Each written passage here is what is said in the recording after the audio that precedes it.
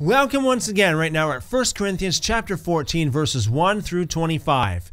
Prophecy superior to tongues.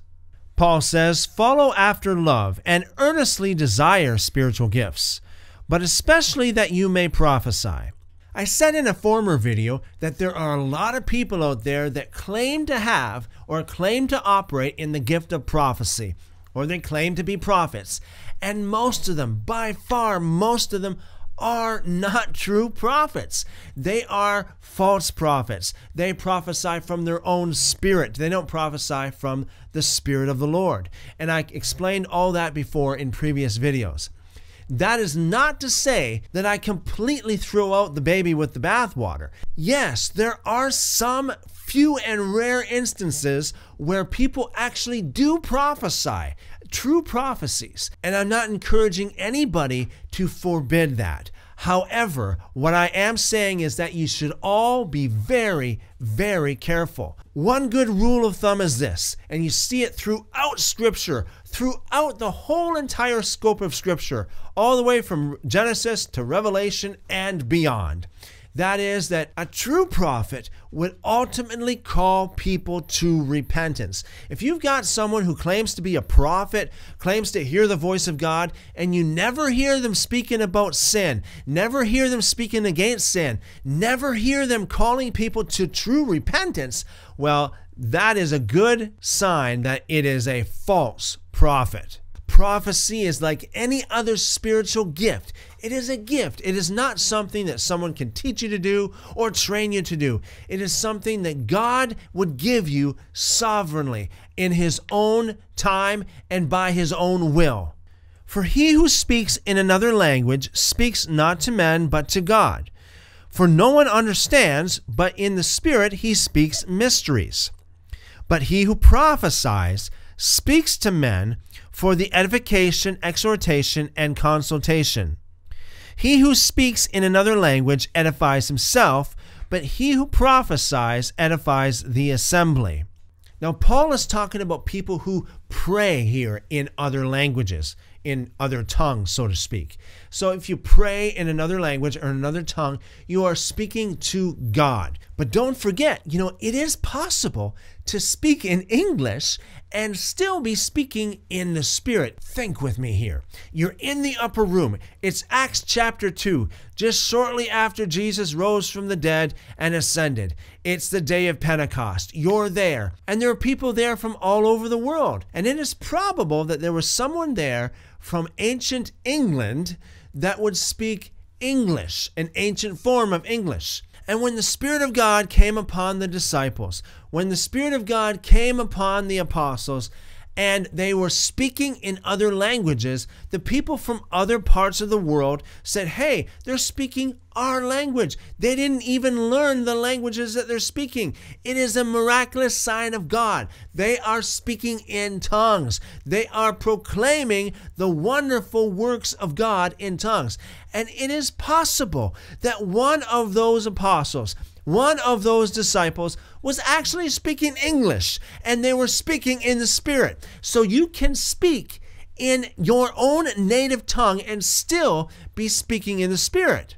But here in this context, Paul is talking about someone who is speaking in other languages to God, okay? Don't forget, it is possible to prophesy in another language as well, in so called tongues. It's possible to prophesy. Paul is not talking about tongues in that context here in this portion of Scripture. Verse 5 Now I desire to have you all speak with other languages, but rather that you would prophesy. For he is greater who prophesies than he who speaks with other languages, unless he interprets, that the assembly may be built up. Here again, Paul puts a great emphasis on interpretation, on understanding what you are actually speaking. It is very important. Now, I've also witnessed this. Now, again, this is just a caution, a word of caution. I've also witnessed an interpreter, a so called interpreter, that is really just interpreting from their own spirit as well. They're just making up an interpretation from their own spirit, from their own heart. It's not really from the Spirit of God. And you got to be careful about that too. So every time someone speaks in another tongue, so to speak, or any time that someone interprets that, You've got to test that. You've got to really put that to the scripture. Put that really to the test to see if that is really what God is saying. Verse 6 But now, brothers, if I come to you speaking with other languages, what would I profit you?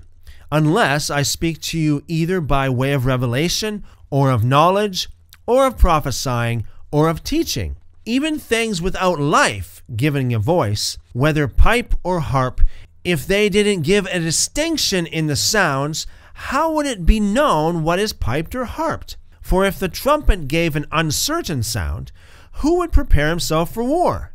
So also you, unless you utter by the tongue words easy to understand, how would it be known what is spoken? For you would be speaking into the air. And believe me, there's a lot of speaking into the air in a lot of Pentecostal churches today. There are, it may be, so many kinds of languages in the world, and none of them is without meaning. There's a key word here meaning. If then I don't know the meaning of the language, I would be to him who speaks a foreigner, and he who speaks would be a foreigner to me. So also you, since you are zealous for spiritual gifts, seek that you may abound to the building up of the assembly. Now, here Paul is talking about edification, building up, exhorting, encouraging people. This is the same kind of word that Jesus said to Peter when he said, Upon this rock I will build my church. He's not talking about building a church as in brand new, as if it didn't exist before. We went through this before in our previous sessions. Acts chapter 7. 1 Corinthians chapter 10, where it is proven that the church of Jesus Christ existed way back in the time of Moses. Yes, it's true. That's what the scriptures teach. The church of Jesus Christ, the called out ones, his people, the people of Jesus Christ existed back then. How, you may ask? Well, Jesus existed back then and he revealed himself back then and he spoke to people back then and people heard and people saw and people believed. It was ancient Christians. Check out Acts chapter 7 and 1 Corinthians chapter 10 for more details. Therefore, let him who speaks in another language pray that he may interpret. For if I pray in another language, my spirit prays, but my understanding is unfruitful. What is it then? I will pray with the spirit, and I will pray with the understanding also. I will sing in the Spirit, and I will sing with the understanding also. Otherwise, if you bless with the Spirit, how will he who fills the place of the unlearned say Amen at your giving of thanks, seeing he doesn't know what you say? For you most certainly give thanks well, but the other person is not built up. I thank my God, I speak with other languages more than you all. However, in the assembly, I would rather speak five words with my understanding, that I may instruct others also, than 10,000 words in another language. Brothers, don't be children in thoughts. In other words, be mature in the way you think. Yet in malice, be babies. But in thoughts, be mature. In the law, it is written, By men of strange languages and by the lips of strangers I will speak to this people. They won't even hear me that way, says the Lord. And that's in Isaiah chapter 28, verses 11 and 12. Interesting that Paul calls Isaiah the law. Verse 22 Therefore, other languages are for a sign, not to those who believe, but to the unbelieving. But prophesying is for a sign not for the unbelieving, but to those who believe. If therefore the whole assembly is assembled together, and all speak with other languages, and unlearned or unbelieving people come in, won't they say that you're crazy? But if all prophesy, and someone believing or unlearned comes in, he is reproved or in other translations says convicted by all, and he is judged by all. Thus, the secrets of his heart, implying sins, are revealed. So he will fall down on his face and worship God, declaring that God is among you indeed. This is true prophecy. This is true prophecy. If you have a sinner come into your assembly, come into your church, and you prophesy, remember what I just said earlier? True prophets call people to repentance and call out sin. And I tell you, I saw so many false prophets out there. They will prophesy that you will have a new car, a new house, a new uh, job, or a you know a promotion in your job, you know, or that God loves you so much, and all this stuff and pampering and blessings and stuff. They will prophesy all this stuff. You know, I've heard it said by somebody before, and this was a a high profile preacher said, you know what? If you can't really hear God, just bless the people and just just prophesy blessing on them and, and that'll work. That'll cover up, you know, your lack of hearing the voice of God. Listen, let us not settle for this trash anymore.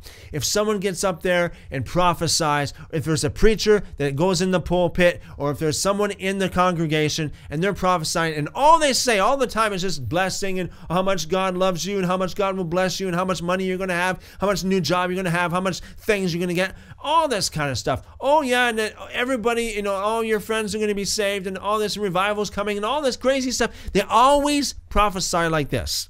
If that's all they prophesy, and they don't talk about sin, and they don't call out sin, and they don't call people to repentance, that is a false prophet. This, this is New Testament Christianity. When a sinner comes into the church, a sinner comes into the assembly, and someone prophesies and they call out the sin. They call out the secret sins in that person's life. And that person is awestruck Whoa, there's no way you can know that stuff except God be with you. And they fall down on their face and they worship God. And they say, Truly, God is among you. That is true prophecy. That is true New Testament prophets and how they operate. Seek God with all your heart, and if you do, you will find him. Call upon him, and he will show you great and mighty things. Love you guys.